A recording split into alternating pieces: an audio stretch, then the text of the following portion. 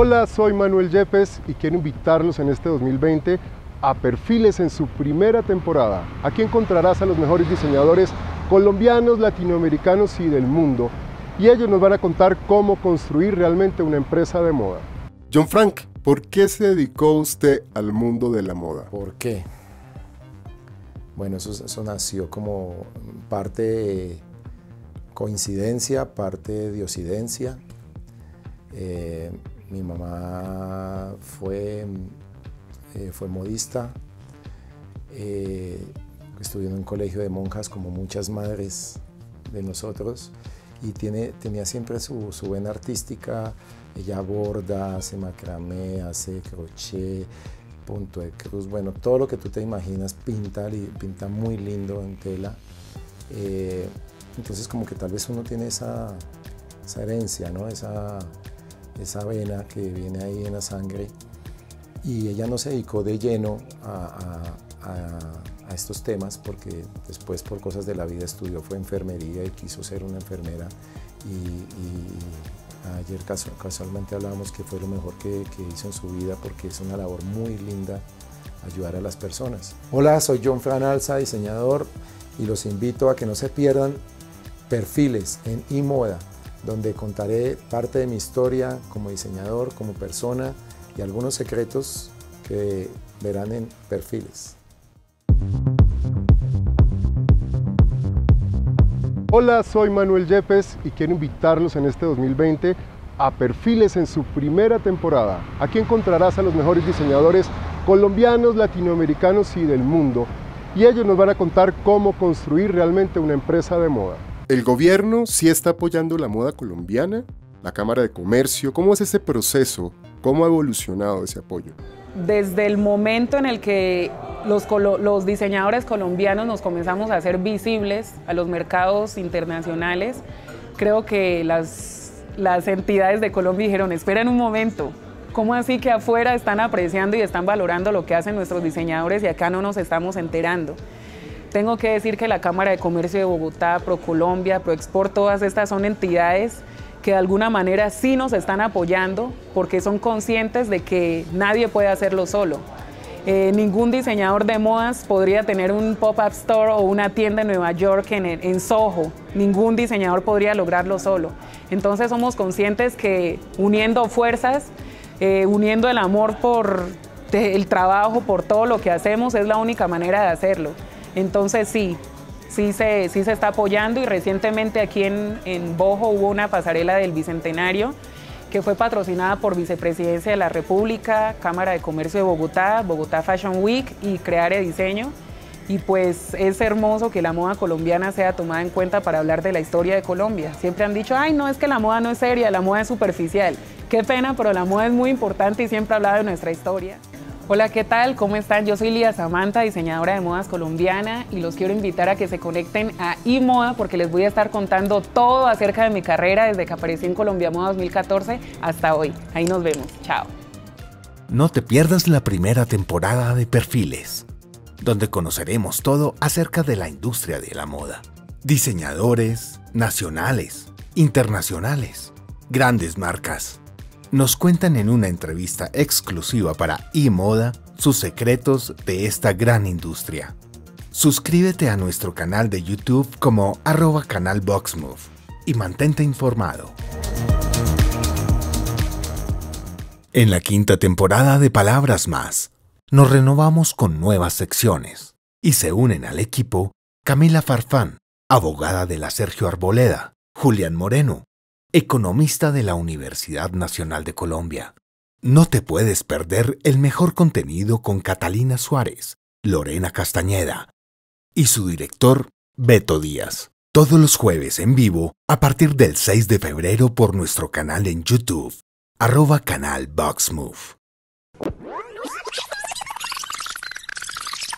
Hola a todos los amigos del canal Box Move. Soy Daniela Niño y quiero invitarlos a que en este 2020 no se pierdan Review, un nuevo programa en el que juntos vamos a recordar hechos de la industria musical, eventos, conciertos, lanzamientos, artistas y demás. No se pierdan toda nuestra programación en el canal de YouTube y seguirnos en nuestras redes sociales como arroba canal y visitar nuestro portal web como boxmove.com. Hola, soy Manuel Yepes y quiero invitarlos en este 2020 a Perfiles en su primera temporada. Aquí encontrarás a los mejores diseñadores colombianos, latinoamericanos y del mundo. Y ellos nos van a contar cómo construir realmente una empresa de moda. Hola, soy John Fran Alza, diseñador, y los invito a que no se pierdan Perfiles en iModa, donde contaré parte de mi historia como diseñador, como persona y algunos secretos que verán en perfiles. En la quinta temporada de Palabras Más, nos renovamos con nuevas secciones y se unen al equipo Camila Farfán, abogada de la Sergio Arboleda, Julián Moreno, economista de la Universidad Nacional de Colombia. No te puedes perder el mejor contenido con Catalina Suárez, Lorena Castañeda y su director, Beto Díaz. Todos los jueves en vivo a partir del 6 de febrero por nuestro canal en YouTube, arroba canal. Hola, ¿qué tal? ¿Cómo están? Yo soy Lía Samantha, diseñadora de modas colombiana y los quiero invitar a que se conecten a iModa porque les voy a estar contando todo acerca de mi carrera desde que aparecí en Colombia Moda 2014 hasta hoy. Ahí nos vemos. Chao. No te pierdas la primera temporada de Perfiles, donde conoceremos todo acerca de la industria de la moda. Diseñadores, nacionales, internacionales, grandes marcas. Nos cuentan en una entrevista exclusiva para eModa sus secretos de esta gran industria. Suscríbete a nuestro canal de YouTube como arroba canal y mantente informado.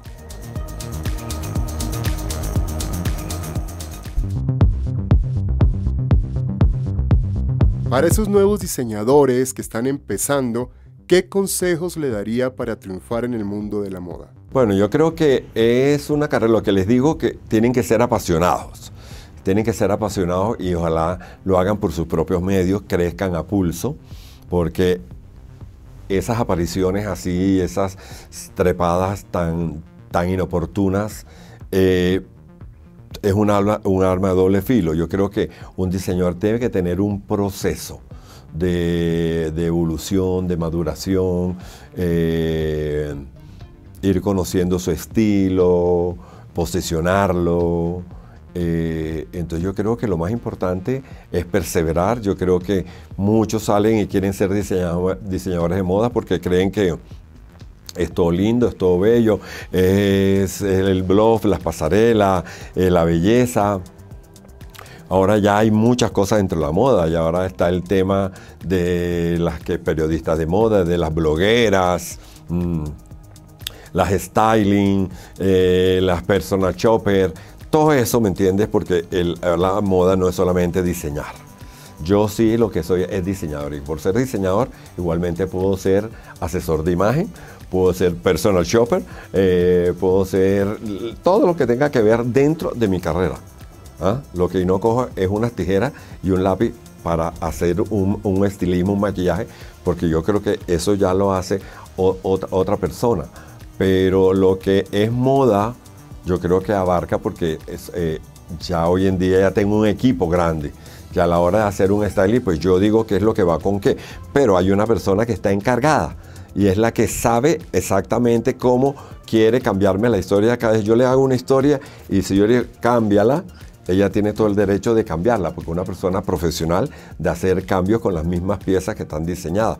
Porque uno, como uno puede diseñar, yo puedo diseñar esa chaqueta con este pantalón, pero ella o él, el que está haciendo el estilismo, puede poner esa chaqueta con una falda y el pantalón lo puede poner con un t-shirt. Entonces yo creo, pero son dentro de la misma colección, porque la colección tiene que ser versátil. Una colección tiene que yo, pensar que todas las piezas jueguen con todas. A la hora de, comprar tres piezas, de las tres piezas, el consumidor haga seis looks. Entonces yo creo que no solamente dibujar y hacer mamarracho y sacar un poco de ropa bonita, sino que hay que tener en cuenta muchas cosas. No te pierdas la primera temporada de Perfiles, donde conoceremos todo acerca de la industria de la moda. Diseñadores, nacionales, internacionales, grandes marcas. Nos cuentan en una entrevista exclusiva para eModa sus secretos de esta gran industria. Suscríbete a nuestro canal de YouTube como arroba canal y mantente informado. Mauricio Leal, uno de los estilistas más reconocidos en Colombia, nos cuenta sus inicios en esta gran industria. Bueno, mi nombre es Mauricio Leal, eh, nací en Cartago Valle, siempre desde chico, siempre me gustó como el arte de la peluquería, eh, me daba un poco de pánico, como decirle a mi familia que me, gustaba mucho como el mundo de la peluquería, eh, por todo lo que, lo que, lo que se decía, por ser peluquero en esa época, hace cuarenta y pico años. Pero siempre que salía del colegio, o de la escuela o del colegio, eh, pasaba por peluquerías y me atraía mucho como, como esa energía de la peluquería, sentía como, esas, como esa necesidad de entrar a un local de peluquería y como hacer, cortar pelo, toda esta vaina que me quedaba así como bobo viendo cómo trabajaban. Em, seguí, o sea, seguí pues todo mi, estudio, todo este tipo de cosas. Eh, después llegó el momento en el que tenía que empezar a trabajar porque mis papás se separaron. Em, y la tercera opción fue una peluquería, eh, una peluquería lavando cabello. En esa época, lavar cabello era como, como la, la persona que hacía oficios varios, porque no había como tanto protocolo como hoy en día, con tanto producto y con tanta disciplina para hacerlo. Eh, me tocaba lavar baños, hacer la peluquería, asistir a todos los peluqueros, servir el tinto, bueno, hasta lavar la fachada de la peluquería, todo este tipo de cosas.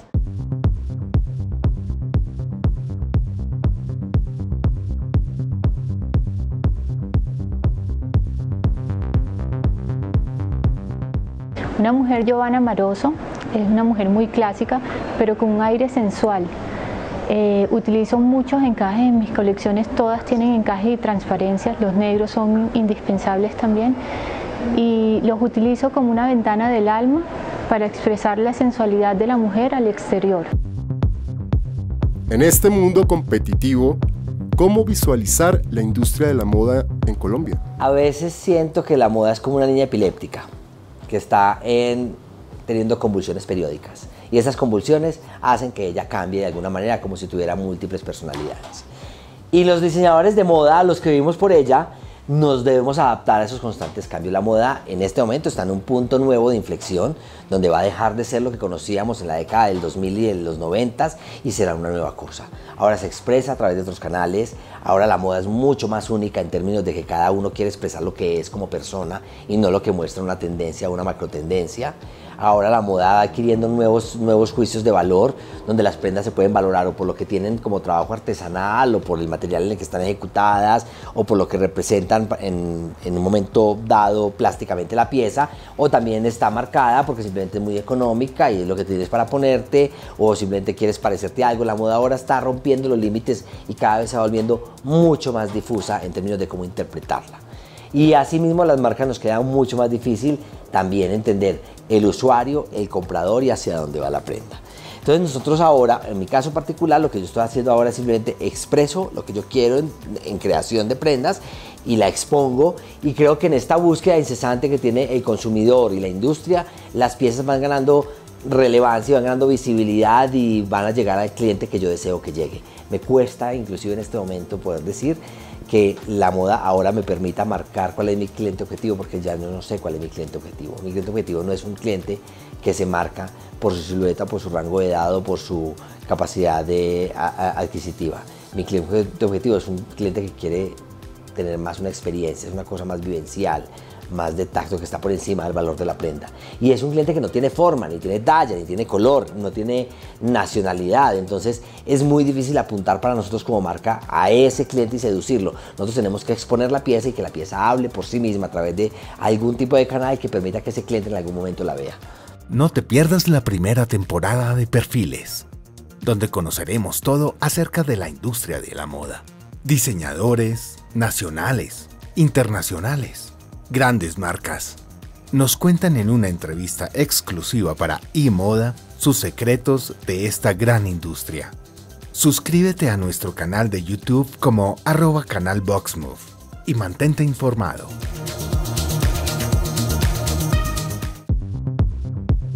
Ricardo, ¿de dónde viene ese gusto por la moda? ¿Cuáles son los orígenes de su marca? Eh, la moda pues viene porque mi mamá eh, fue artista en su juventud, fue bailarina ballet, tocó violín, las castañuelas, eh, cantó la ópera muchísimo en el Colón y desde muy pequeño siempre fui al Colón a ver las, las óperas de Rigoletto, Carmen de Sevilla, Payasos, todas estas. Yo tenía siete años en esa época que eh, la, la ópera era importante. Yo iba a los ensayos con mi mamá, iba a Camerino y después me medía las obras y pues siempre como que la estética, el glamour siempre como que me conectó desde muy joven y adicionalmente eh, también fui deportista o soy aún deportista muy fuerte, me gusta mucho el deporte de hobby. Mi mamá también fue una gran deportista, fue una atleta, me meto por el departamento de Caldas y de Manizales. Y toda esa cultura y esa, esa tradición se me fue como cogiendo de la mano con mi actividad día a día en el colegio y después pues me fui para Italia a estudiar eh, diseño de interiores y pues allá tenía que estudiar diseño del arte primero. Y todo se fue transformando estando en Italia, en Florencia, en el año 85 y terminé en la moda, regresé a Colombia, eh, estudié en Arturo Tejada, eh, me gradué en el año 91 y ahí comenzó toda la carrera, todo se fue transformando, quería inclusive me salté un poco, quería estudiar arquitectura y todo fue así, se fue cambiando por el camino de la vida y ya llevo 26 años trabajando, 27 años en la moda fuertemente, de una manera muy, muy divertida, con sus altibajos, con todos sus problemas. Y pues esta ha sido un poco la trayectoria de, que, de lo que se ha dado en, en mi historia como diseñador, como persona, como papá, como como hijo, como, como amigo, como parte de la sociedad colombiana y parte del mundo, ¿no? Porque es como un poco ser muy fluido en la vida y me gusta mucho entender que el mundo es uno solo a la final y pues hay que vivirlo como va llegando el día a día, ¿no? Hola, soy Manuel Yepes y quiero invitarlos en este 2020 a Perfiles en su primera temporada. Aquí encontrarás a los mejores diseñadores colombianos, latinoamericanos y del mundo. Y ellos nos van a contar cómo construir realmente una empresa de moda. No te pierdas la primera temporada de Perfiles, donde conoceremos todo acerca de la industria de la moda. Diseñadores, nacionales, internacionales, grandes marcas. Nos cuentan en una entrevista exclusiva para eModa sus secretos de esta gran industria.